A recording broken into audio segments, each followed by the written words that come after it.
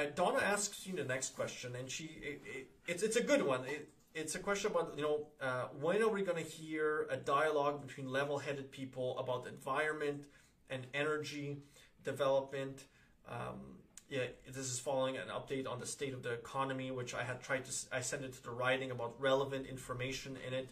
You know, when will we have the meeting of the minds, so to speak, uh, about the issues? So, uh, to me, the short of it is, um, you can't really talk to people who are calling for the complete shutdown of the Canadian economy. That's their hashtag on Twitter.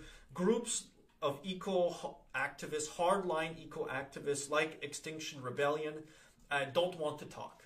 Uh, they want their way or the highway. They didn't win the parliamentary election in Canada, and they want to uh, put as much pain on regular, everyday people as possible.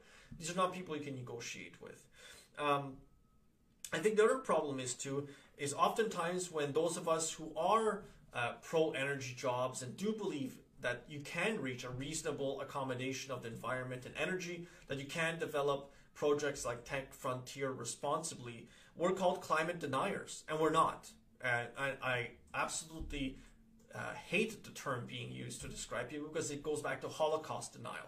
And trying to equivocate the two together is absolutely wrong. It's deeply, deeply wrong.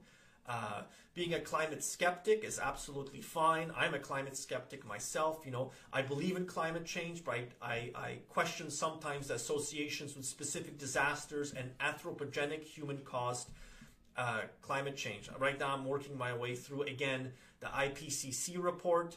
Uh, and I read many of these documents to try and better understand what people are saying. I don't think people can deny that the climate is warming, but you can have a vibrant, logical, rational debate as people. And I agree with you. It'd be nice to see a, a broadcast on national TV, but that's not that's not the situation we're faced right now with.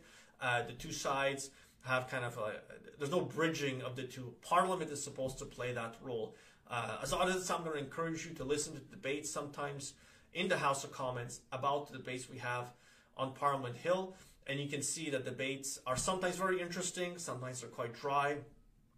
But that's where the meeting of the minds in our country is supposed to be on. I think if you uh, put it on TV, uh, and I encourage you uh, to do it, you can go looking around on different channels, on different podcasts if you want to listen to it, different YouTube channels. You can see different snippets of the discussion being had in a logical, warm, convincing manner by both sides. Uh, but I think the government organizing and our politicians organizing it is likely not going to work. And again, uh, ridiculous comments by those who are anti-industry jobs, anti-energy jobs aren't going to help. You're not going to have a normal discussion with someone who is uh, an Extinction Rebellion uh, activist at all.